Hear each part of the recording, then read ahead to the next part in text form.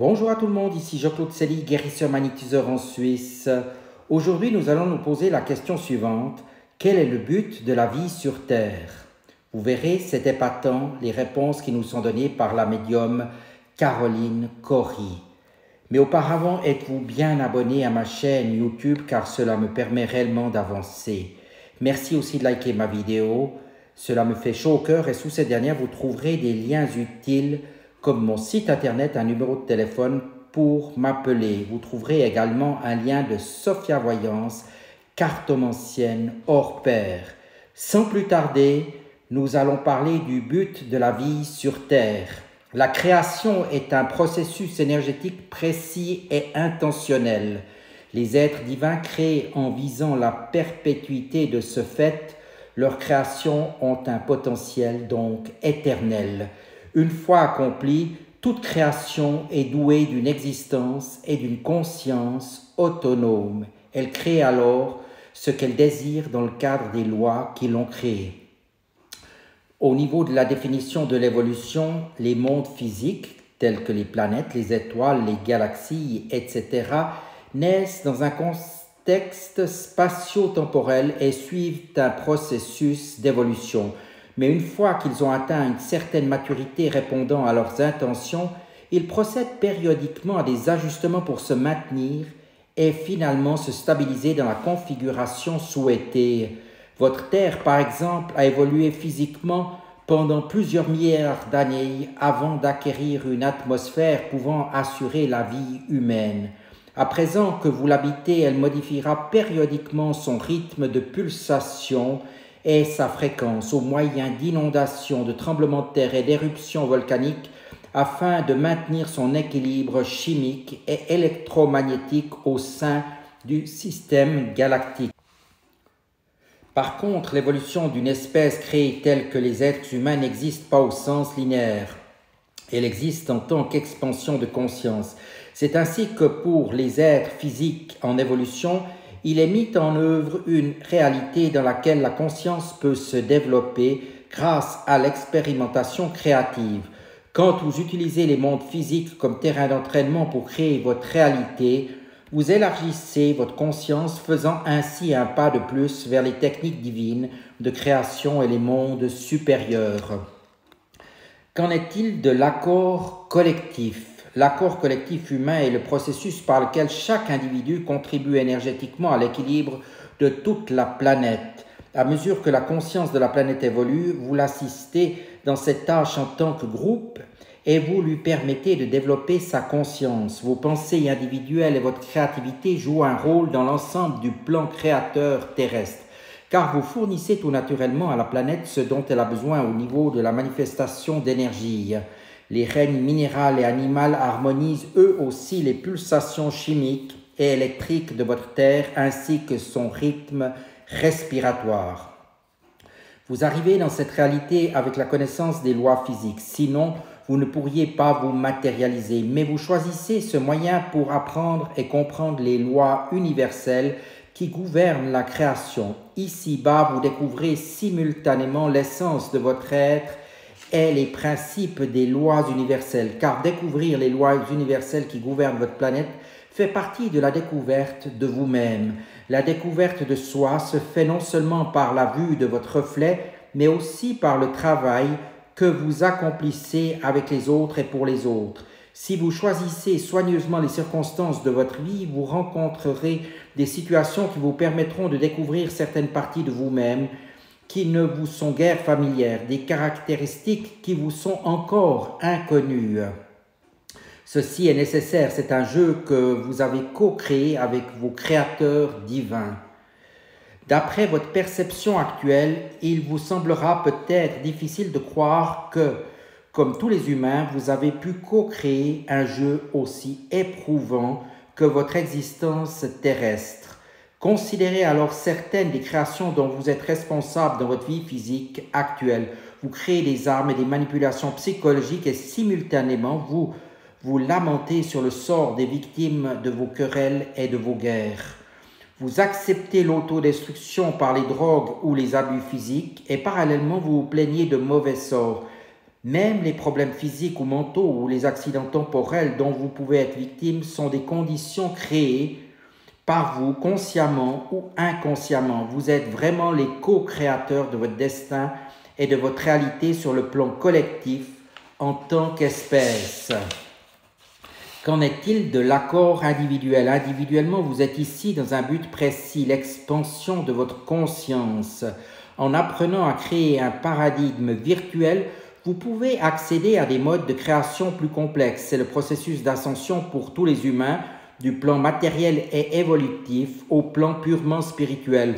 L'ascension n'est pas un mouvement vers le haut. En fait, c'est une expansion gravitationnelle de la conscience et de l'esprit qui vous tire vers l'intérieur, vers le cœur de votre univers, de là où réside votre Créateur divin.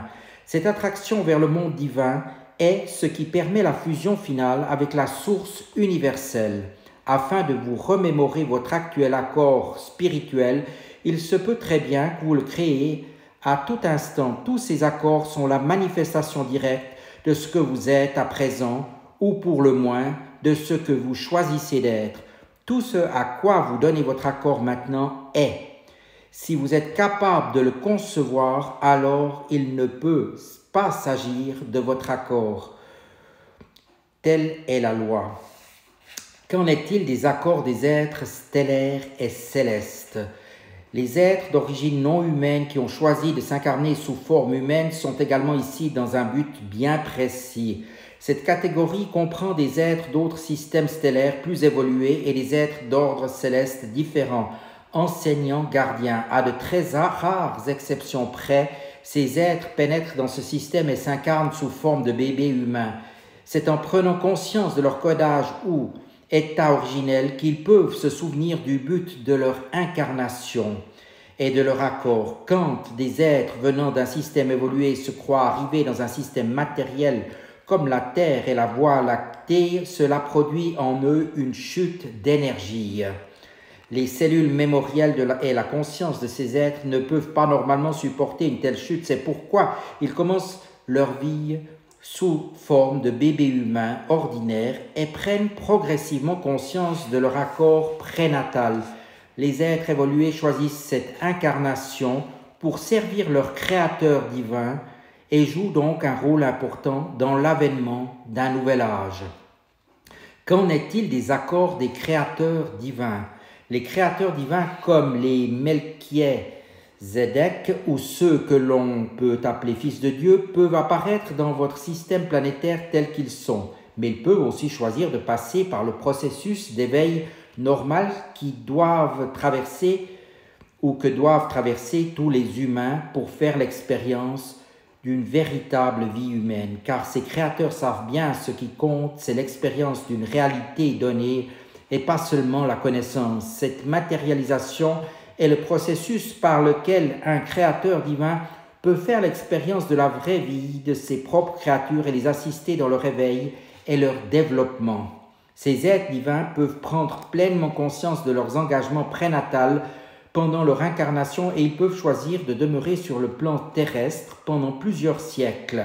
Leur accord véritable ne peut s'exprimer en termes humains parce que c'est un accord avec la source universelle dont l'expression n'a pas d'équivalent matériel. Pour dire les choses simplement, ces êtres divins font partie d'un plan concernant les alignements planétaires et stellaires ou d'autres phénomènes cosmiques et tâches spirituelles. Ce sont les créateurs génétiques les concepteurs, les architectes physiques et les maîtres spirituels capables d'adapter les énergies physiques et non physiques afin qu'être et chose demeurent en harmonie avec l'unicité divine et la source universelle. Ces êtres divins guident l'humanité vers sa phase d'existence suivante.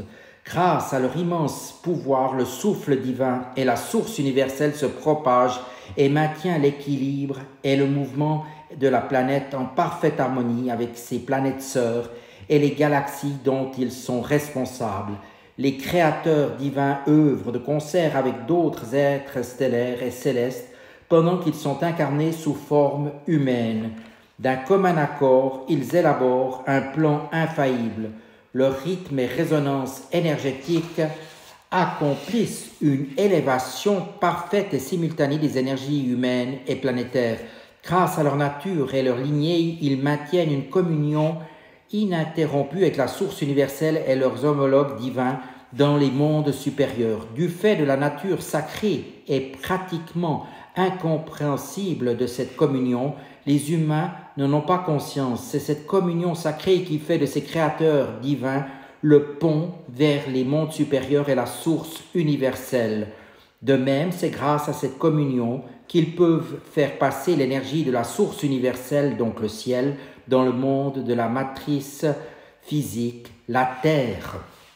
Ces êtres magnifiques ont une fréquence énergétique mille fois supérieure à celle de n'importe quel humain et peuvent participer simultanément à de nombreuses tâches planétaires, voire galactiques. Ils pénètrent dans vos mondes physiques et se départicularisent parfois en un millier d'êtres et entités individuelles afin de répandre leur champ énergétique à travers les mondes qu'ils occupent.